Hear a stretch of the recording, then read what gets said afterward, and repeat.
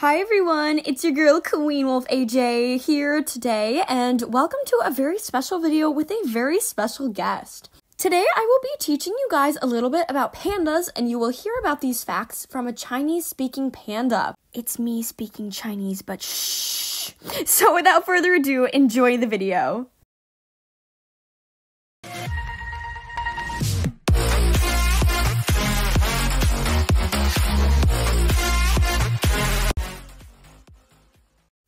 谢谢你进来回答我的一些问题。谢谢你，我非常高兴来到这里。你能告诉我们更多关于你的事吗？可以啊。你想知道什么？你能告诉我们更多关于你的饮食吗？熊猫主要是食草动物。我百分之九十九的饮食都是竹子。我吃竹子的不同部分，包括叶子和茎。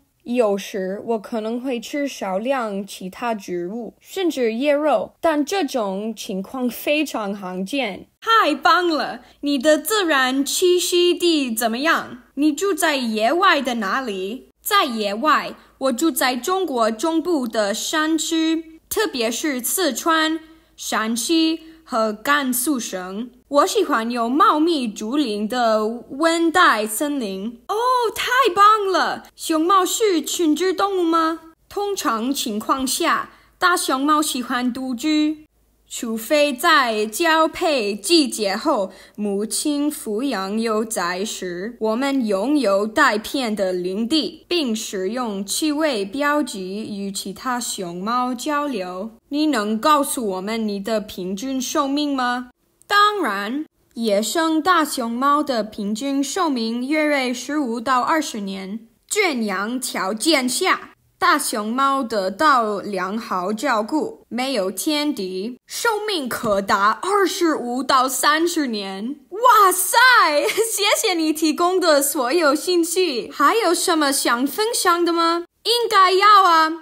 有趣的是，大熊猫是中国最知名、最受喜爱的动物之一，所以我很高兴自己受到如此喜爱。但不幸的是。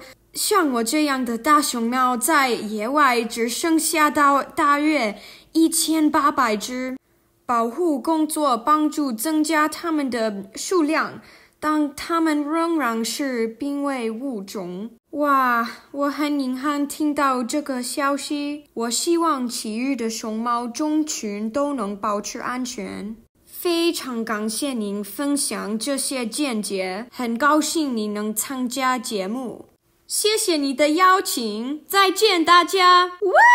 I did it! Oh my goodness, that was hard since I'm still learning, so ignore some of the pronunciations. I know it's not perfect, but I hope you guys enjoyed and you learned a little bit about pandas. Thanks for watching. Bye guys!